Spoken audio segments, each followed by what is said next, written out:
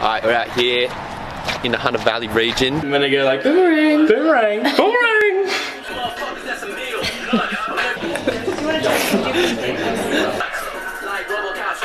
Evolution. That's why I went for the wild piano. yeah.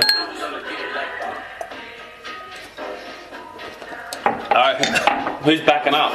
The three weeks before the picking, what about those weeks, Andy? you need you need the sunlight beaming down on the grapes. That's what differentiates a good and a bad year. I've been making the DJ sets. I've been making the more nets. Don't hit me with the mosquito nets. I've been. right, so Andy's sleeping. We're gonna go through his pockets and we'll find out what he got.